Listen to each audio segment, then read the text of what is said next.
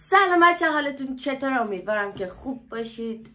بچه این ادامه ویدیوی آقای آیدین زواری پارت دو.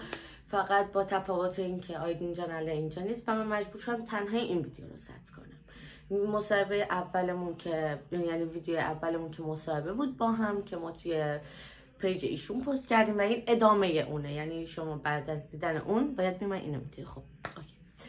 بچه منو آرسی اثرات هنری من ببینید اینا رو خودم کشیدم. چه خوشگلن اینجا قرار پر از نقاشی خوشگل بشه. بعد یه تابلوی نمونی این بالا می‌خوره به آیدی خودم. خیلی برنامه دارم واسه راستش من قصدم اصلا ساختن استودیو نبود. نمی‌خواستم استودیو درست کنم. ولی خب می‌کنیم این اشکالی نداره. اصلا موضوع ما این نیست بچه بریم بیرون. از این موضوع. داستان ما داستان اصلی ما از اونجای شروع میشه که من اومدم حالا یه سری داستان ها رو گفتم متاسفانه هیچکی باور نکرد. اومدین هیت دادین حرفامو باور نکردین کلی فوش بارم کردین کلی توهین و کلی داستانای دیگه. نمی‌دونم معتاد بهم گفتین فوش مادر بهم دادین دو که خطابم کردین هزار تا حرف بمیزدین بازم هیچی نگفتم و ادامه دادم به این داستان. اومدم همه چی واسهتون توضیح دادم. گفتم آقا داستان اینطوریه اونطوریه فلان. یه سری بیناموس اومدم با عکس اون. عکسشو گذاشتم پروفایلش میان به من هیت میدن. تو تو فلانی تو الی تو بلی. ولی الان دارم می‌بینم.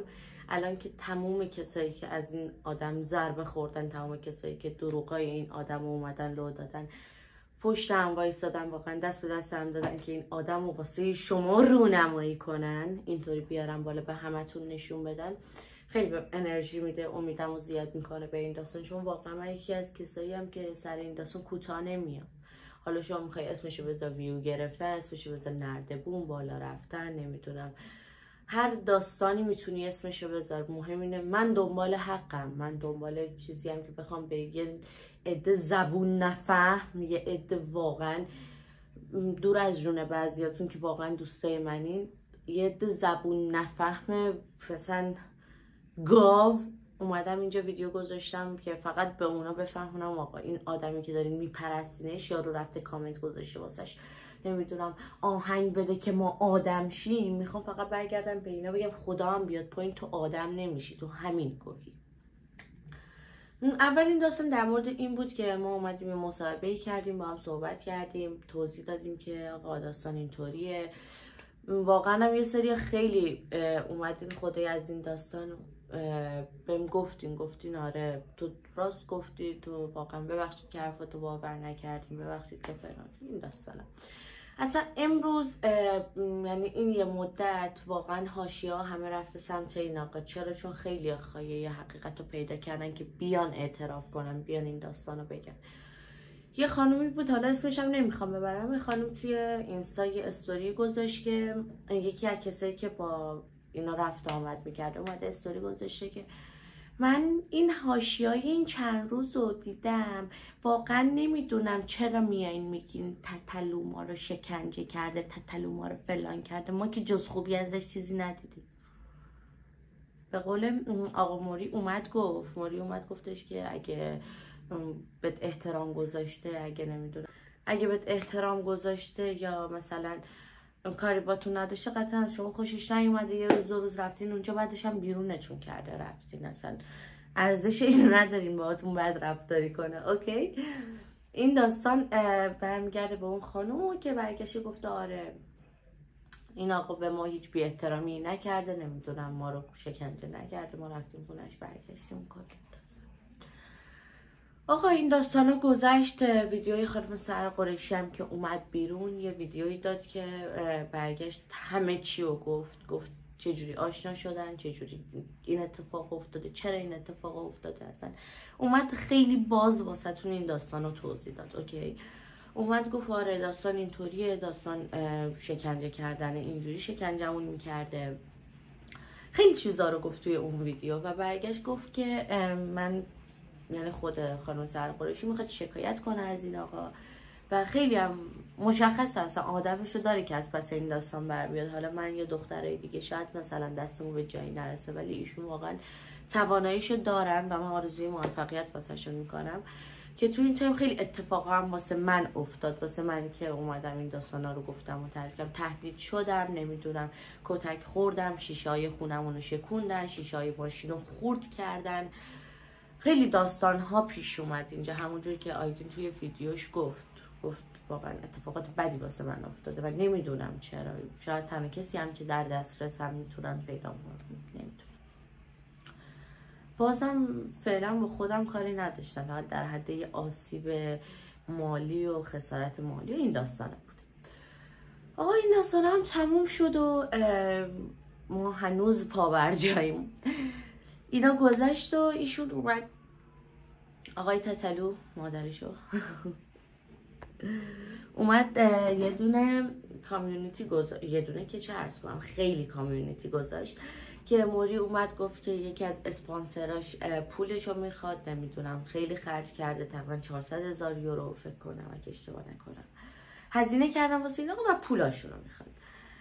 و اینجا آقای توتول به قول موری اومده گفته که طرف خودش دوست دخترش کل فامیلا آهنگای ما رو حفظن و نصف زندگیشون با آهنگای ما میگذره و نصف دیگهش با دیدن تفسیر و reaction ها بعد عوض اینکه هر ماه خودش یه کادوی درست بخره بیاره بده بگه داداش ما همه با آهنگات مجانی داریم حال می‌کنیم بیا یه بخش از هزینه ها رو کاور کنه.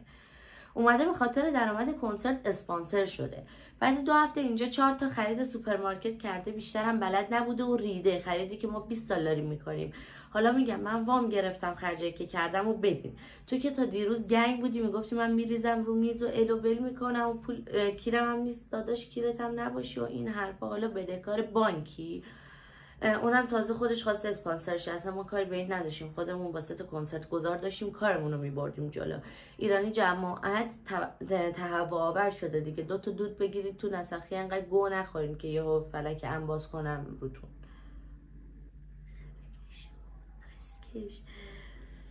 آدم با خایه داره یه جنس و آدم یا خایه داره یه جنس و هر روز مصرف می‌کنه مثل خودت. اون خایه نمی‌خواد که. اون ولش کن بیخیال بیاد یه جنسی هر روز مصرف کنه یه خایه نداره گوه می‌خوره مص... گوه می‌خوره مصرف کنه که تو نسخش بخواد بیادبی کنه. عوض اینکه بیناموس خودش شکایتو بگیره بده به نوازنده ها بگه این همه ساز زدیم تو هنگ و مال کردیم مرتیکه مفخور دوزاری به نوازنده ها برگشته گفته حقوقی که بهتون دادم کنسرت کنسل شده رو پس بدین.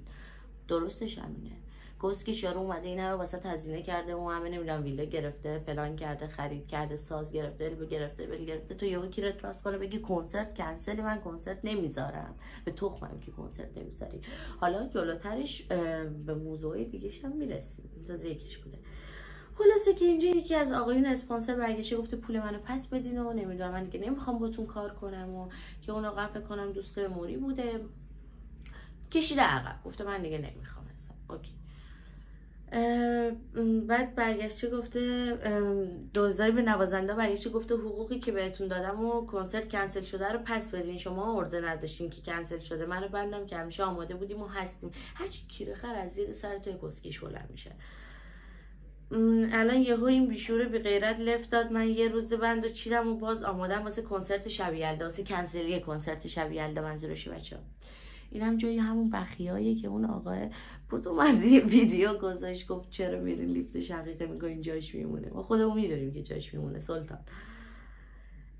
برگشته گفته واسه کنسرت شبیلدا دیگه نتونن مجوز بگیرن یا سالن یا ویزا نتونن بگیرن یا یه نوازنده یا آشپز نمی‌تونن پیدا کنن به من چه؟ چقدر مردم بی غیرت اینا تازه 20 سال جاکشا بغل ما زندگی کردن یادشون هم دادیم وای به حال مردم عادی. سیکتیر. سیکتیر کمرت که 2000 اف گوز افه میگه شما افه افه دیگه افه گوز. اوکی. اف گوز علکی ارزه کار میلیون دلاری ندارین گو می‌خوریم می اینجورا حتی گشتم با امیر تسلو خرج داره می‌فهمین؟ همون خرجش که کفشاتو گذاشی واسه فروشی.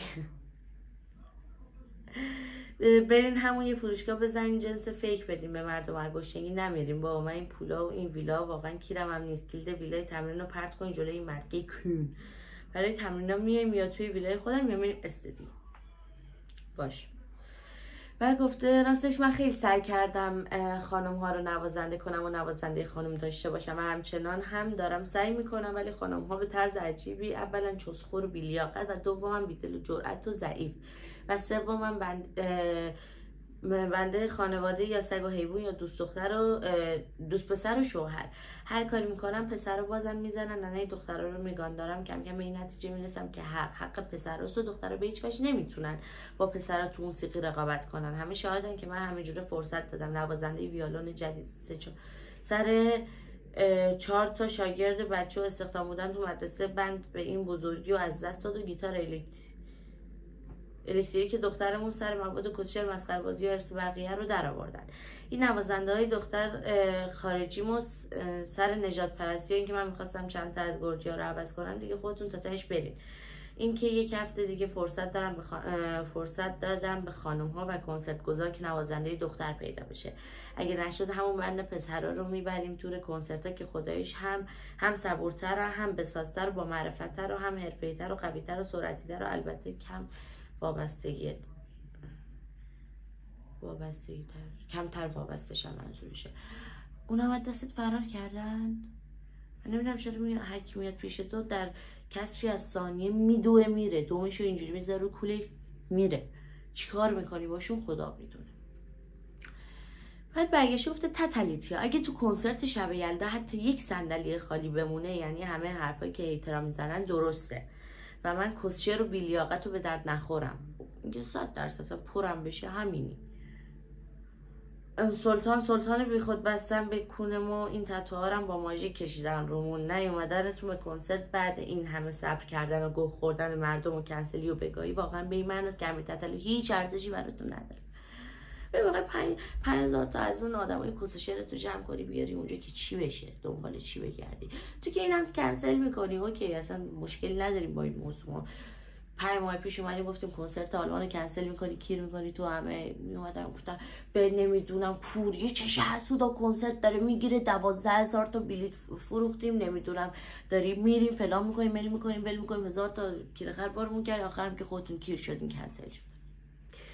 بعد برگشته گفته که براتون نداره زیرشو خالی کردین و اون موقع دیگه واقعا میرم کلا رد کارم. این بیت معنی پیدا می‌کنه. بی خود درگیر من نشه اومدم که برم. یه دیگه خودتون می‌دونی شب بخیر. شبت بخیر عزیزم.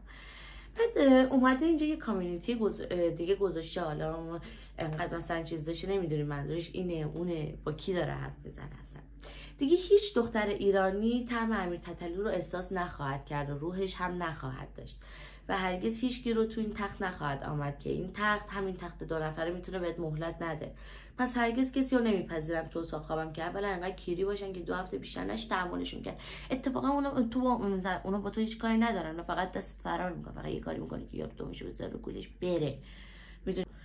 داشتیم می‌گفتیم بچه‌ها. که برگشته گفته انقدر نمک برون باشن که اندازه دو سال خاطره کیری تعریف کنن از اون دو هفته که صرفا از روی معرفت و انسانیت جوری ازشون پذیرایی کردی که سرشون گیج رفته. تو تو انسانیت داری. شاید هم همینطور باشه. کیرم تو انسانیتی که تو داری پس. یعنی کیرم تو انسانیتی که تو بهش میگی انسانیت.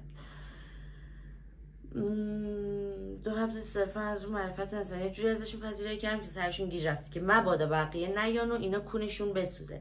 دیگه وقتم رو همون شیره وجودم به موجوداتی نمیدم که انقدر مادر جنده باشم بخورم بریزم بپاشن خریداشون رو بکنن تصاهاشون رو بزنم بعد برم بگن شکنجه شدیم که مثلا یک خودشون رو ببرم بالا. دو گفتم کسی دیگه نیاد ببره و بخره و آدم شه. ببین الان الان خب اون موقع رو نمی‌دونم.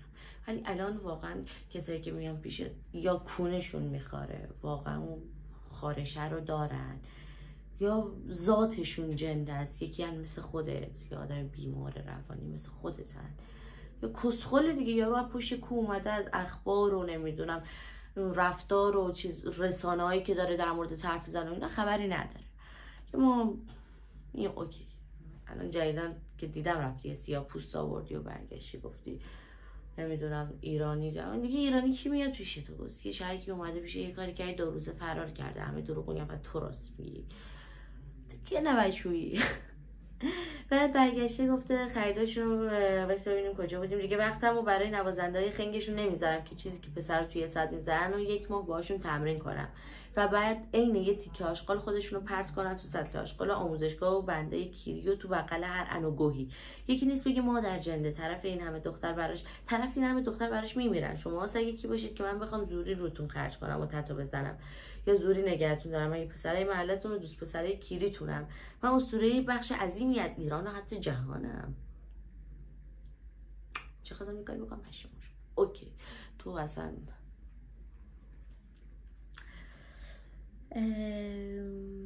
من امیر تتلو هم کیر منم نیستی. ببخشینو و این دختران که زوری با تا خارکس بازی و فیلتر و دروغ آرایش وارد خونه زندگی من شده. اصلا من نه کسی رو می‌شناسم نه جایی میرم نه حتی اینستاگرام دارم. خیلی وقته که بخوام کسی رو بشناسم و دعوت کنم و اصلا نمی‌خوام بیا موجودات کسمشنگی که جز مفری و خالی زرک بازی و حسادت و این چیزا از رابطه من نخواستن و نمی‌خوان.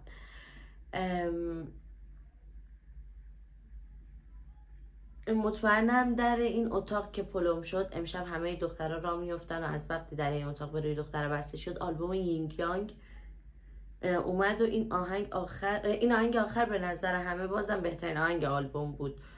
تنهایی کامل نوشتم بدون آغوش هیچ کسمشنگ کثیف دستمالی من امیر تتلو نیمه گم شده ندارم. خودم یک نیمه کاملم و هیچ احتیاجی به آغوش یا محبت و لوسبازی این بچه خوشگله بینمک ندارم. یعنی مور کس چیه؟ آختوف گیرم توش. عشق چیه؟ ریدم توش. اوکی.